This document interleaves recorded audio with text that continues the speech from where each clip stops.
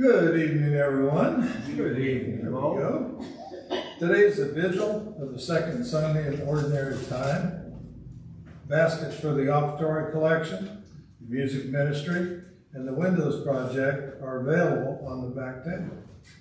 The Respect Life collection is this weekend. See the bulletin for information from the Knights of Columbus. Spring yard sale plans are in the bulletin, and they're starting to gather items in the parish hall. Bible study class will begin on Tuesday, February fifteenth. More information on the bulletin. Uh, Monica will be outside the church, down the sidewalk. Uh, any questions about the Bible study? I know we're hoping to go on Tuesday night from like six to seven thirty. And uh, Monica will be outside after mass tonight, and if you're coming back for seconds tomorrow, she'll be out there tomorrow morning also. Please turn off all cell phones, electronic devices while you're in the church. This mass is being offered for Jim Ripka at the request by Faye. Thank you.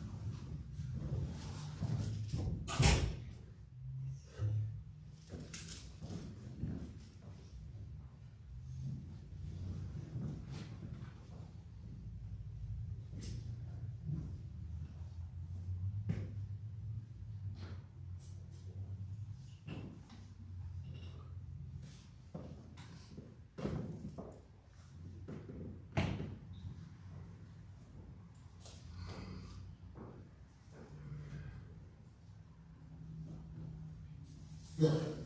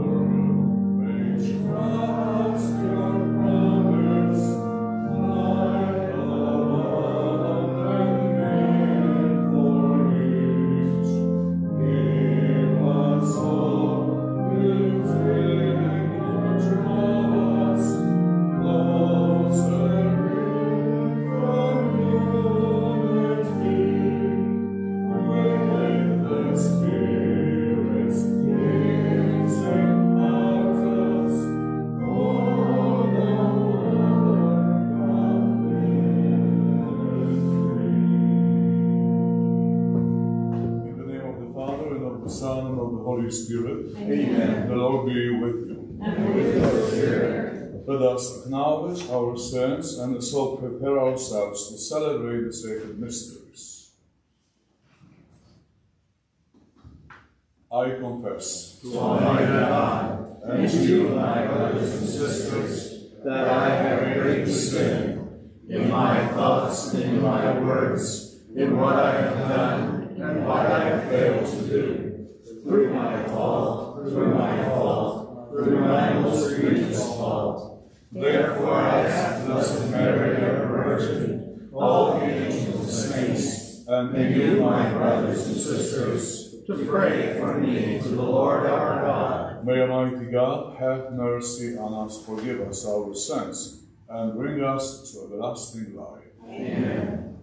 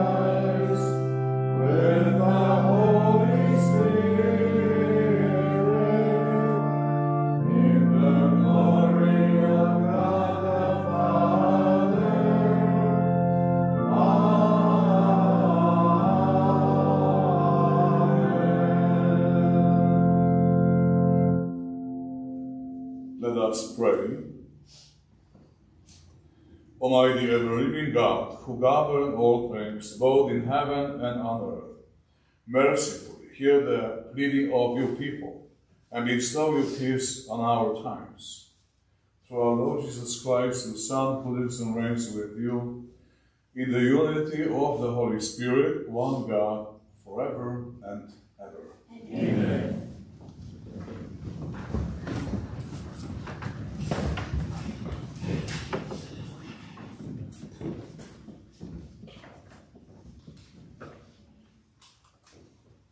reading from the book of the prophet Isaiah. For Zion's sake, I will not be silent. For Jerusalem's sake, I will not be quiet until her vindication shines forth like the dawn and her victory like a burning torch. Nations shall behold your vindication, and all the kings your glory. You shall be called by a new name, pronounced by the mouth of the Lord.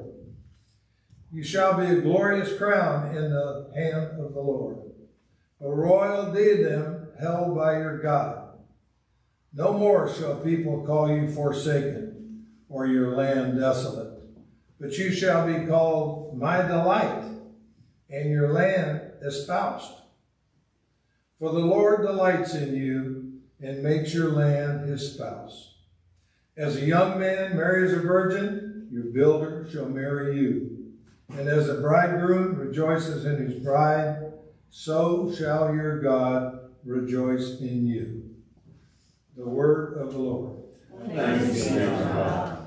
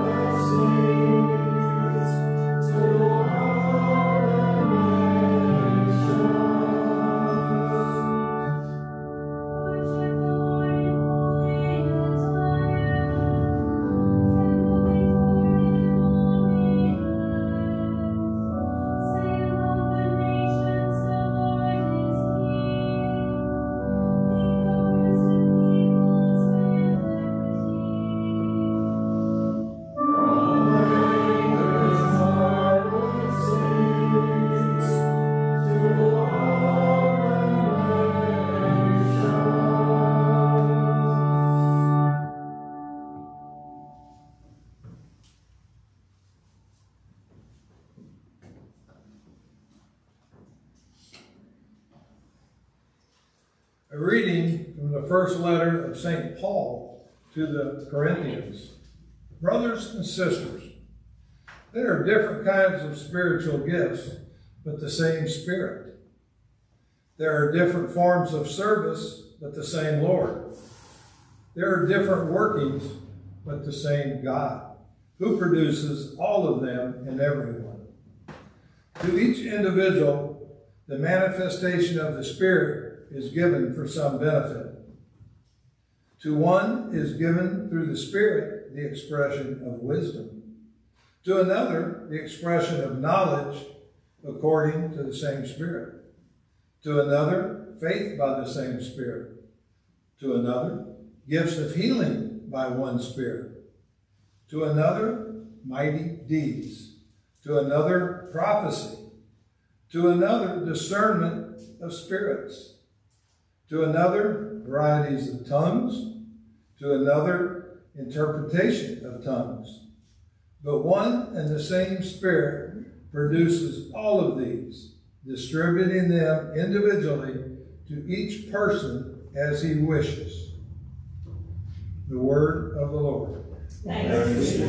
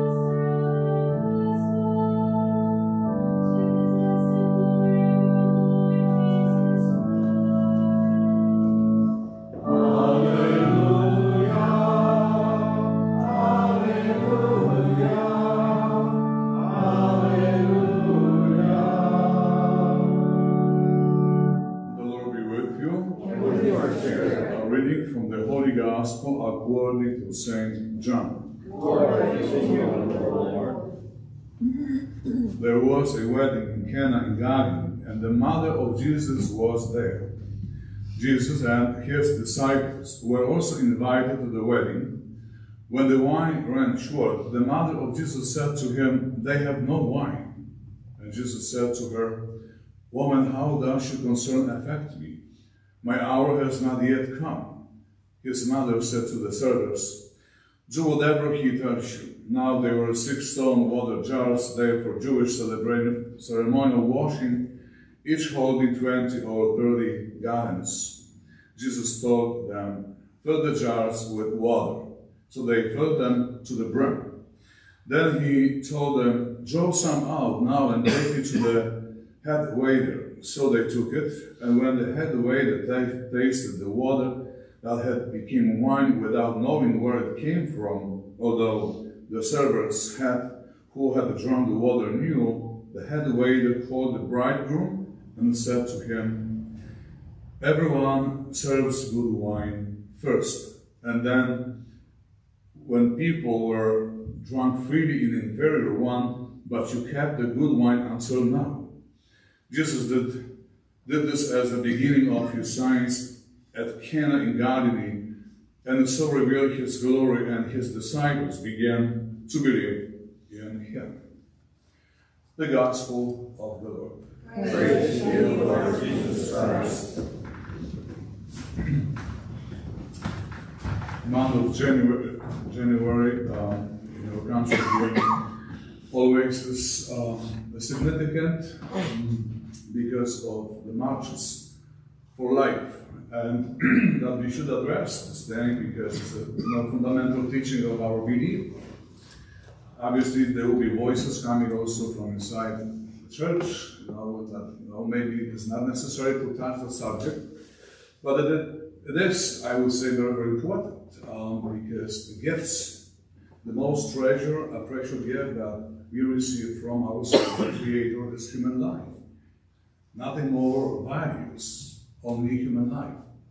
And I think it's good that people go and they show themselves and they um, you know, express their faith. It's like they manifest their faith.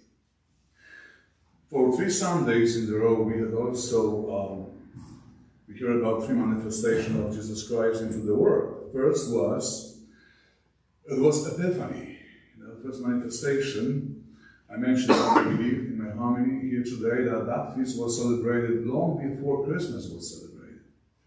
So important because Christ, God Himself, revealed to the world in person, person of Jesus Christ, to the pagan world, with a good news that the humankind is not going to be left alone, but they will say there will be redemption and there will be salvation. So the human life will have a very, very important deep uh, meaning. You know, it's not ends, doesn't end here on earth, but will be on the other side, which will never ends.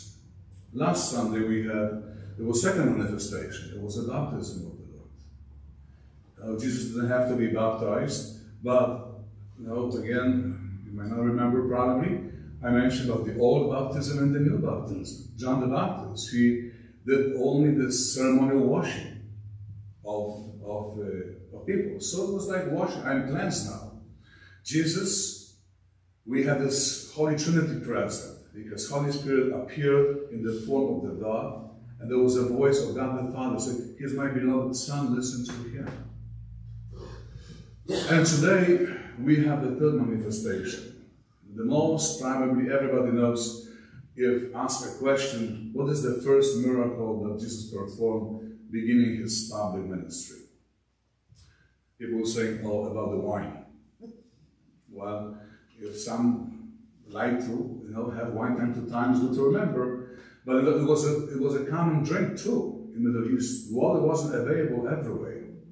So the wine, wine actually was, you know, uh, somehow uh, observing the thirst for, for people. But that's not the point. The point is, Jesus is revealing, like the end of today's gospel says, beginning of the sign in Cana, he revealed his glory. So even the disciples who follow him were able to believe in him that he is the Son of God, that he is the Messiah, that he is the Savior. Even these signs also are significant, like we have a sign um, you know, of our faith. We ask, people always are you know, drawing to, uh, to something which is supernatural. They always would like to see something God is doing, but it's saying it's easier to believe I remember years ago, I was in Medjugorje, I think it was uh, anniversary or something of, of appearance of the Blessed Mary, even though we know today is not the church has not approved the apparition of Blessed Mary, but I was there staying in the hotel, it's called Two Hearts, Blessed Mary, Sacred Heart of Jesus, it was a hotel, and people were going outside, oh, something is happening on, on the moon. Now, everybody was interested, so nothing was happening there. It was a normal moon. Maybe it was a full moon, I don't know. And, or oh, because here we, we want to see something, something supernatural, something, something different that is going to deepen our faith. Our faith actually is uh, deepened, like St. Augustine says. St. Augustine is to say, human heart is a miracle. Human life is a miracle. Look around the world. How can you deny God's existence? Today's gospel is helping out, helping us out to deepen our faith in Jesus Christ, to build up this relationship even better. Because we always have to be reminded.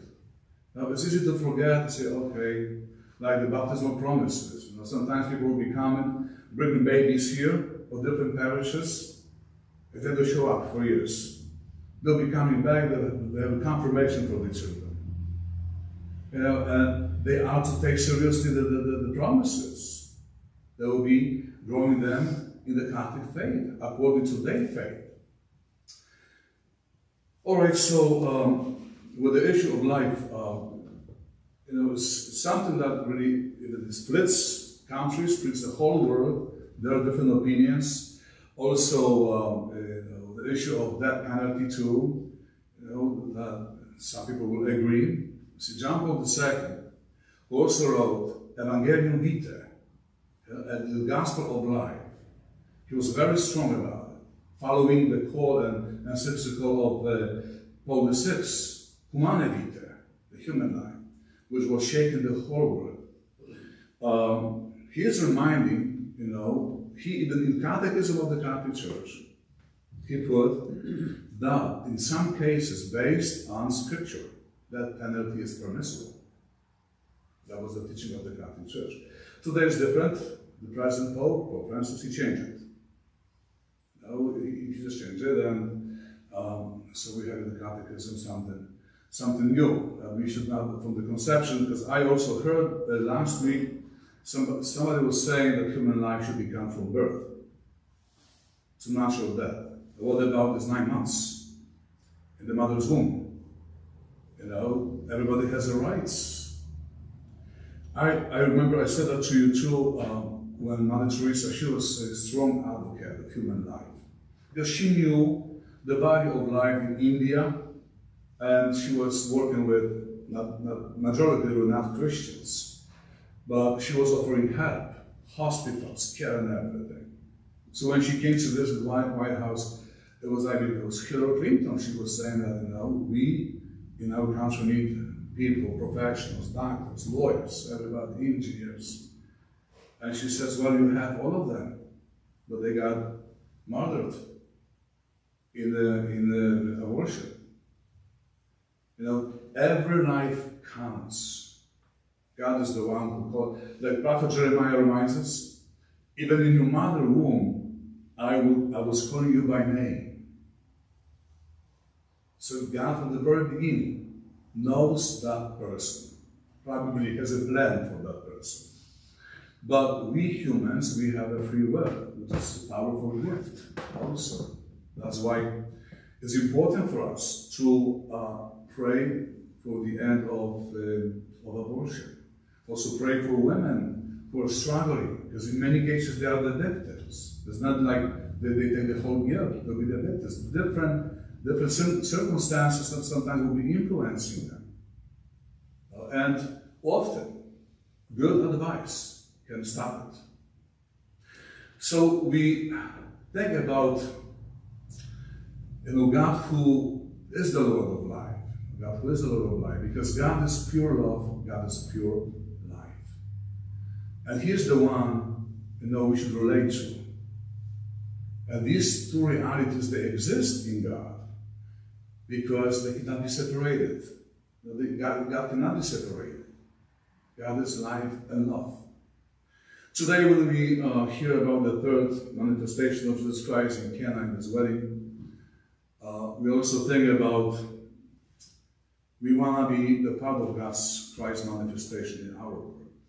You know, not to hesitate, not to be afraid to speak about His teaching. Uh, we we cannot be sometimes people look at all past the thing that belongs to priests to a certain point. To a certain point. You're baptized. You're confirmed. You, know? you actually speak about it to witness. So let us take the good news from today's liturgy of the word, even the word of St. Paul's letter to Corinthians, you know, which he reminds us we are equally gifted Grace comes to each one of us in a different form, in a different way.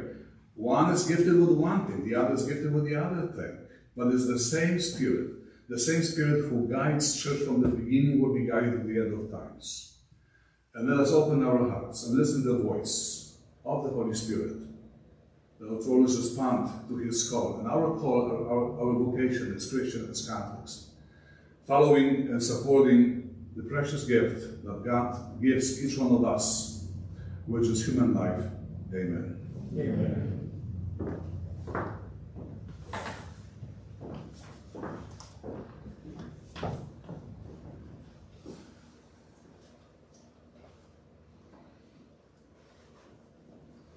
I believe in one God, the Father Almighty, creator of heaven and earth, all things visible and invisible I believe in one Lord Jesus Christ, the only begotten Son of God, born of the Father before all ages, God from God, light from light, true God from true God, begotten, not made, consubstantial with the Father, for whom all things were made, for us men and for our salvation, he came down from heaven, and by the Holy Spirit was incarnate of Mary, and became man For our sake he was crucified and Pontius Pilate. He suffered death and was buried, and rose again on the third day, in accordance with the Scriptures. He ascended into heaven, and is seated at the right hand of the Father. He will come again in glory to judge the living and the dead, and his kingdom will have no end. I believe the Holy Spirit, the Lord, the giver of life, who proceeds from the Father and the Son, who the Father and Son is the Lord and glorified, who has spoken through the prophets. I believe in one holy Catholic and apostolic church. I confess one baptism for the forgiveness of sins, and I look forward to the resurrection of the dead and the life of the world to come. Amen. For the willingness to do whatever he tells us, we turn to the Lord, well, with our needs.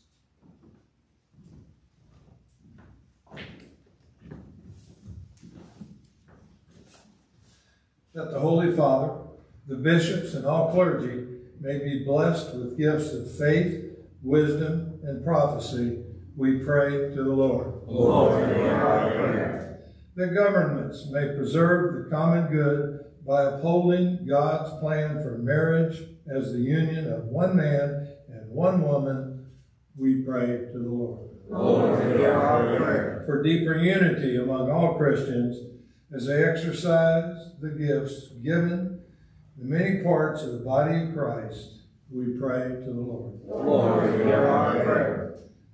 That the witness of Americans who gather in Washington and other cities this week to march on behalf of the unborn may move our nation closer to restoring equal protection for those children, we pray to the Lord. Lord, hear our prayer. That the sick may have the grace to accept the Lord's will and may quickly come to healing, we pray to the Lord. Lord, hear our prayer. And for the repose of the soul of Jim Ripka, for whom this Mass is being offered, we pray to the Lord. Lord, hear our prayer. Father, as we present our needs to you, fill us with the many gifts of your Spirit, that we may serve you and your people with strength and joy. And we ask this through Christ our Lord. Amen. Number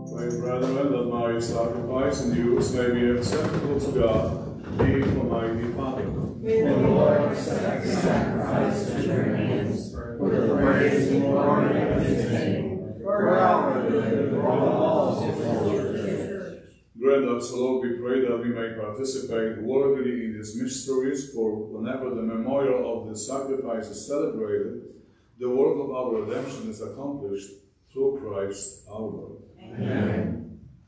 The Lord be with you. And with your spirit. Lift up your hearts. Lift up the Lord. Let us give thanks to the Lord our God. It is right and just. It is truly right and just, our duty and our salvation always, and everywhere to give you thanks, Lord, Holy Father, Almighty and Eternal God.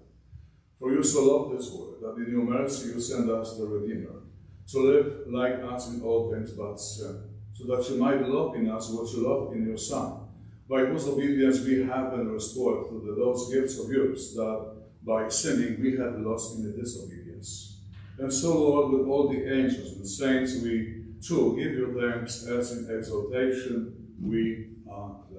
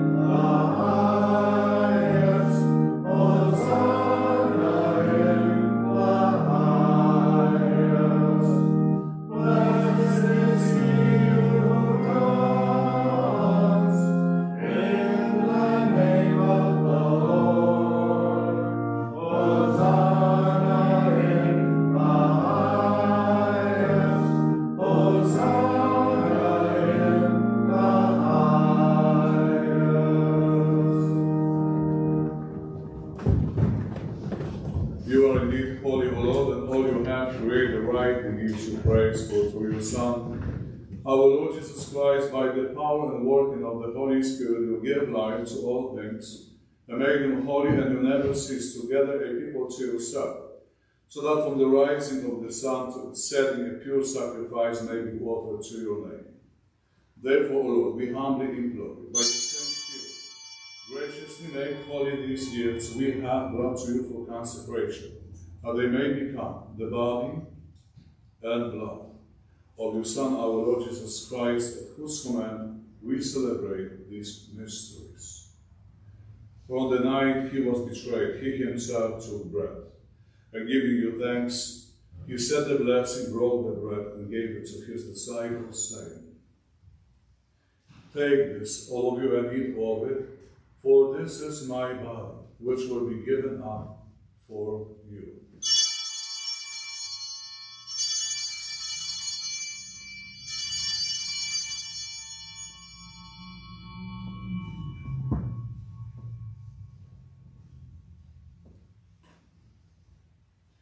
In a similar way, when supper was ended, he took the chalice and giving you thanks, he said the blessing and gave the chalice to his disciples, saying, Take this, all of you, and drink from it, for this is the chalice of my blood, the blood of the new and eternal covenant, which will be poured out for you and for many for the forgiveness of sins. Do this in memory of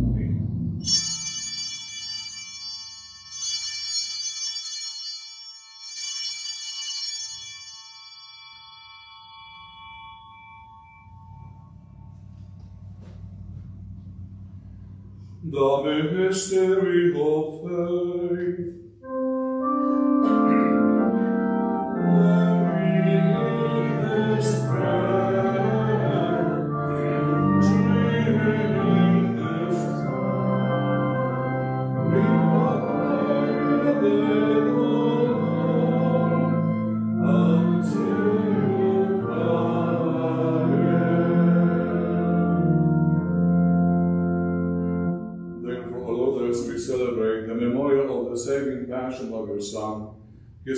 His resurrection and ascension into heaven, and as we look forward to his second coming, we offer you in thanksgiving this holy and living sacrifice.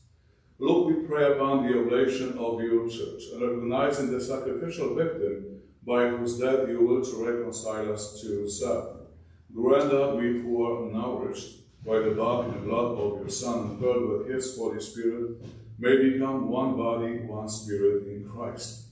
Him make of us an eternal offering to you, so that we may obtain an inheritance which you elect, especially with the most blessed Virgin Mary, Mother of God, with blessed Joseph, her spouse, with your blessed apostles and glorious martyrs, with St. Edward and with all the saints, and with constant intercession in your presence we rely for unfailing help. May this sacrifice of our reconciliation, we pray, O Lord, advance the peace and salvation of all the world. Be pleased to confirm in faith and charity your pilgrim church honor, which is Saint Francis, our Pope, and Felipe, our Bishop, the order of bishops, of the clergy, and the entire people you have gained for your own. Listen graciously to the prayers of this family whom you have summoned before you. In your compassion, O merciful Father, gather to yourself all your children scattered throughout the world. To our departed brothers and sisters, and to all who are pleasing to you, and that they passing from this life give kind admittance to your kingdom. There we hope to enjoy forever the fullness of your glory through Christ our Lord, through whom you bestow on the world all that is good.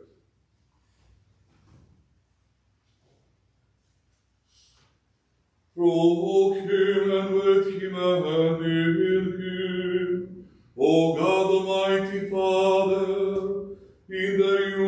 of the Holy Spirit, all glory and honor is yours forever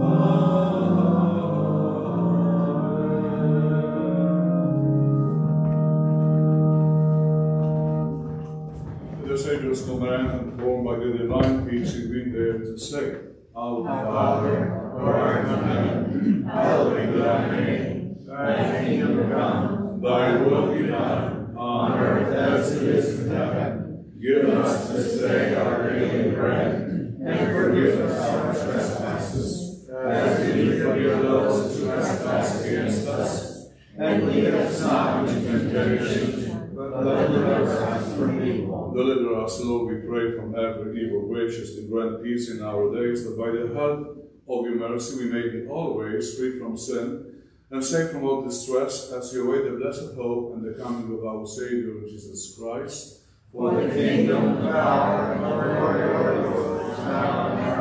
Lord Jesus Christ, who said to your apostles, Peace I give you, my peace I give you, not on our sins, but on the faith of your church, and graciously grant her peace and unity in accordance with your will, who live and reign forever and ever. May the peace of the Lord be with you always. And with your spirit. Up, we're chanting the sign of peace.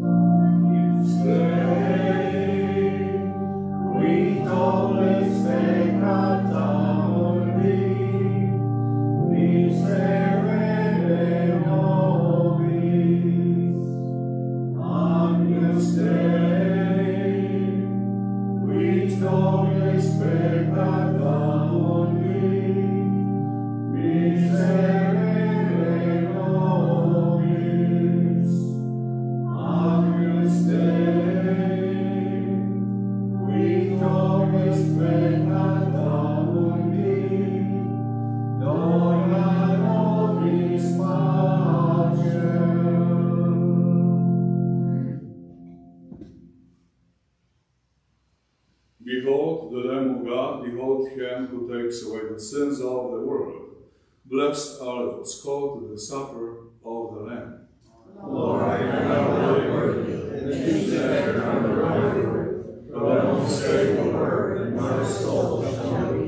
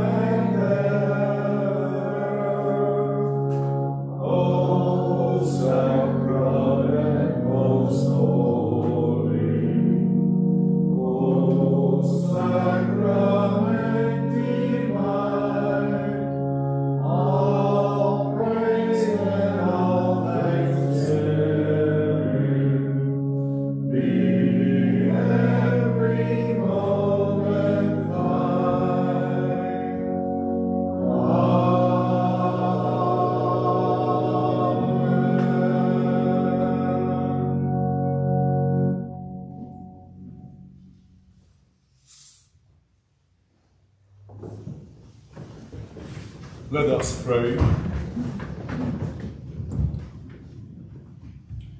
Pour on us, O Lord, the spirit of your love, and in your kindness, may those who have nourished by this one heavenly bread, the one in mind and heart, through Christ our Lord.